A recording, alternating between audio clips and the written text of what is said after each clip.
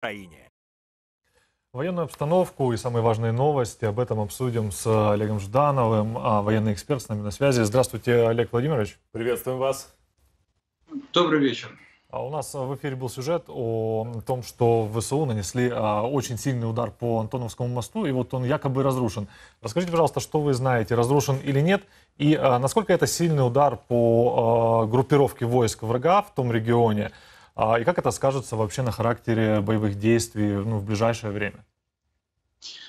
Смотрите, ну пролет не обвалился, он, он стоит на месте, но я так понимаю, что конструктивно мост уже не может нести нагрузку и поэтому не пригоден для прогона машин. То есть машинами по нему ездить нельзя. Почему они резко схватились за понтонный мост? Э, смотрите, это артерия, которая снабжает всю группировку, находящуюся на правом берегу.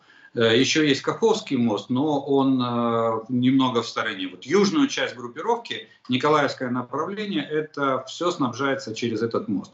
И если мы прекращаем движение по этому мосту, то э, группировка просто потихонечку начинает терять боеспособность ввиду отсутствия материально-технических средств, боеприпасов, топлива, продовольствия и так далее. О каких еще достижениях вооруженных сил Украины за последние сутки известно вам? Как развиваются события на местах?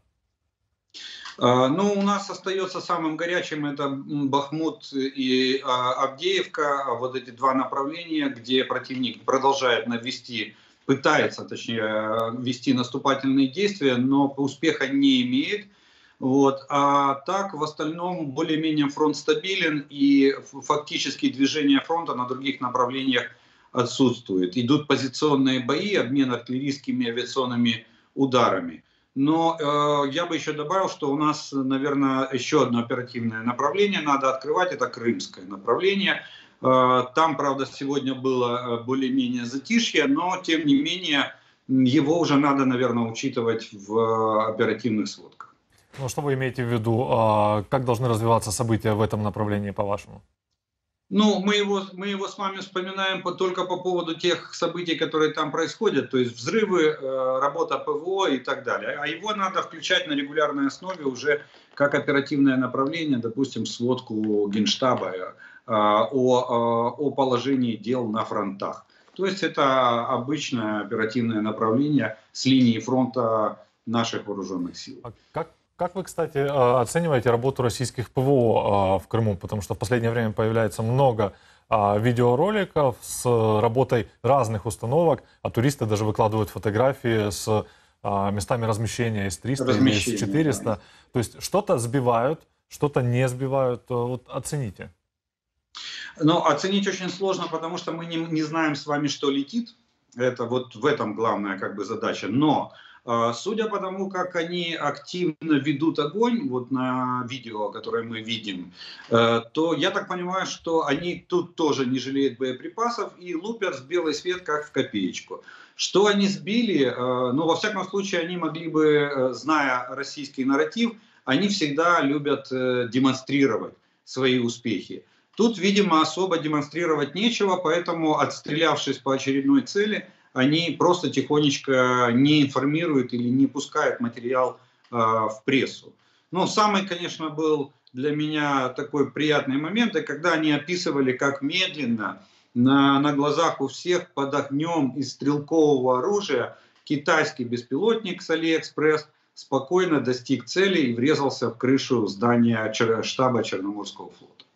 А, да, кстати, вот об этом. А, скажите, а вы допускаете, что вот все, что происходит в Крыму с этими а, беспилотниками, это может быть ну, заготовка, да, и работа ФСБ для того, чтобы, вот для чего, если это так? Ну, если ФСБ работает на, на нас и готова нам передать Крым, то да, тогда в этом случае я бы, я бы допустил такую версию. Всячески поддерживаем, если подобные начинания у них существуют. Олег Владимирович, Э, да. Много раз звучали предупреждения о том, что ближайшие несколько дней, то есть сегодня, завтра, послезавтра как минимум, это дни с э, наибольшей вероятностью массированных обстрелов украинской территории. К какому варианту развития событий стоит готовиться? Какие варианты остаются у оккупационных войск?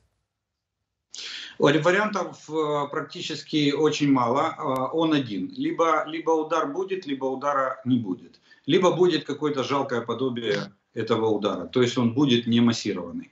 А, поэтому, но э, исключить мы не можем. У нас война. Это, это реальная война, э, где летают реальные ракеты и убивают э, реальных людей. Поэтому, и зная, что для нас эти даты очень много значат, это начало новейшей нашей истории, как самостійної незалежної Украины. Это флаг, это один из символов государства. Поэтому ожидать э, какой-то пакости со стороны Российской Федерации, я думаю, что лучше, лучше быть готовыми, чем нас застанут э, неожиданно. Олег Владимирович, а вероятность чего, по вашему мнению, выше? Массированного обстрела или, например, каких-либо диверсий на украинской земле? Я думаю, массированного обстрела. Э, это самое простое, что может на сегодняшний день делать, сделать Российская Федерация. Диверсии э, мы все-таки за 6 месяцев, и контрразведка у нас работает, и мы научились бороться с диверсионно-разведными группами, и уже такое количество э, там, шпионов, работающих на Российскую Федерацию, у нас обезврежено. Поэтому я думаю, что а Россия, как правило, любит идти путем наименьшего сопротивления. Поэтому я думаю, что, скорее всего, это ракеты. А скажите, пожалуйста, а массированный обстрел чего? Какие цели? Вот сейчас многие предупреждают о том, что в этот раз а, ракеты могут полететь и в объекты критической инфраструктуры. Да? Например, это что, электростанции могут быть. Как думаете, дойдет до этого?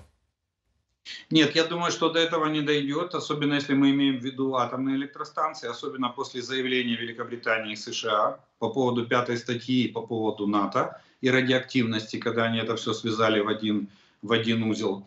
Вот. А, а вот, э, допустим, по каким-нибудь, э, ну и не столько, наверное, объектам инфраструктуры, это будет, на мой взгляд, позже, когда мы будем приближаться к зиме, тогда да, вот, допустим, тепловые электростанции или э, теплоэлектроцентрали, да, газовые хабы, вот это возможно. Сегодня я думаю, что наибольшая опасность это скопление людей. Попасть в какой-нибудь торговый центр или в какую-нибудь площадь, где люди вышли для того, чтобы порадоваться празднику. Поэтому сегодня я думаю, что праздник надо проводить скромно. А, сегодня все-таки война, э, и ограничиться правильно президент сделал вот сегодня, поздравил, и никаких, у нас, кстати, отменены все массовые мероприятия именно из-за мер безопасности. А вот уже когда будет День Победы, тогда отпразднуем все вместе.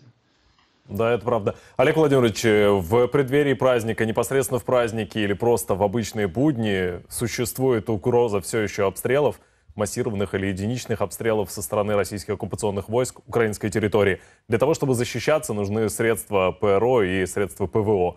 Так вот, в офисе президента сообщили, что Украина получит средства противовоздушной и противоракетной обороны ближайшей осенью. О каких системах идет речь? Насколько эти системы смогут защитить украинское небо? А, ну, если, если осенью, то, что сказал президент, я сейчас уточню почему, э, то тогда это речь идет о системах либо на САМС, э, этих самых норвежских. Э, кстати, эти системы стоят на охране Белого дома. Их выставляют на зеленые лужайки возле Белого дома, когда проводят там какие-то антитеррористические мероприятия. То есть это само за себя говорит о надежности и эффективности этих систем в боевом, в боевом применении. Я просто сегодня появилось еще заявление Министерства иностранных дел Германии, в котором было сказано, что в ближайшие недели Украина э, получит систему ИРИС, которую нам давно обещали. Это тоже противоракетная система среднего радиуса действия и довольно, довольно эффективная, судя по ее тактико-техническим характеристикам. Но в любом случае приятно отметить то, что я так понимаю, что в осень мы будем уже входить с более-менее закрытым э, небом. Олег Владимирович, большое спасибо. спасибо Олег Жданов, военный эксперт, был с нами напрямую.